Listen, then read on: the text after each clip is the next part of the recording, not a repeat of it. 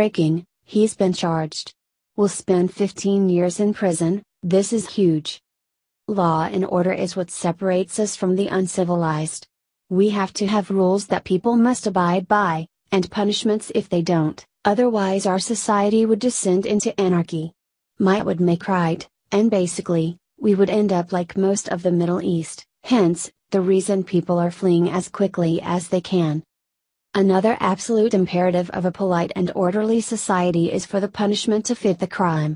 We can't be cutting off the hands of beggars who steal an apple because they're hungry, or slapping murderers on the wrist and sending them back out to kill again. There has to be some sort of sliding scale, and in this country, we have that.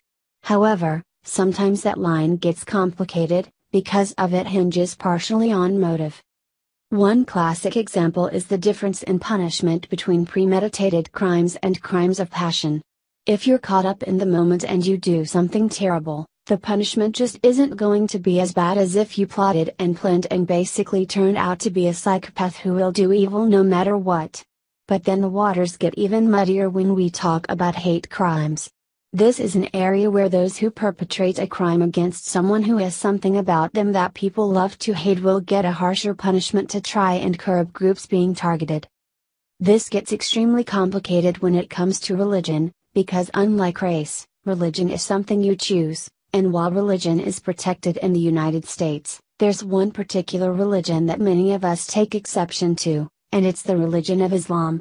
Pamela Geller reports that one man who was particularly disenfranchised with Islam and what it's doing to this country might be getting a bad rap. His crime was just that, a crime, and one that he should be punished for, but should he have federal charges leveled against him for breaking into a mosque and putting bacon inside? That's the question at hand, and the answer starts with defining the difference between a crime and a hate crime.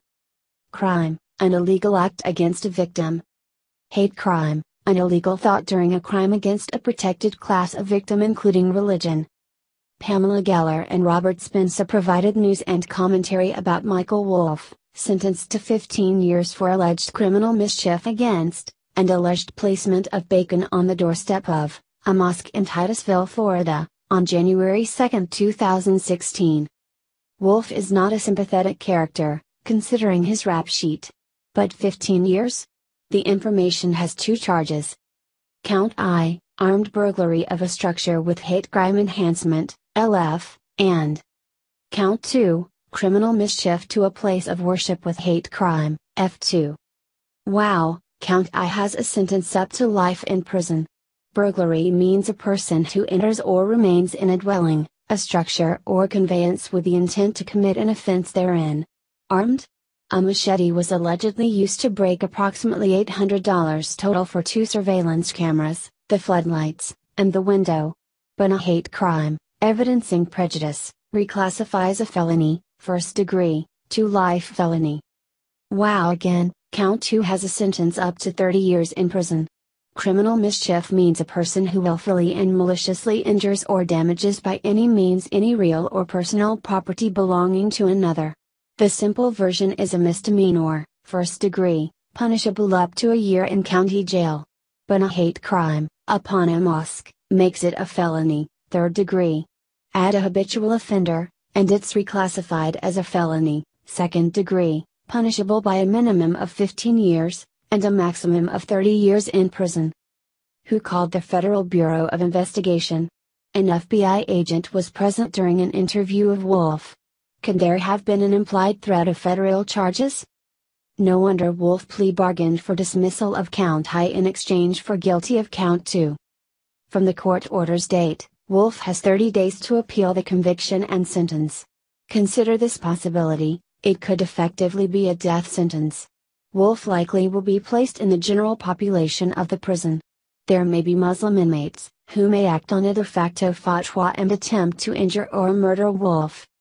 Wolff's case, the intent is to really deter similar kinds of hate crime. Imam Muhammad Musri is quoted in a news article, Bacon Used in Hate Crime, written by Tess Sheets, a reporter for the Florida Today in Melbourne, Florida.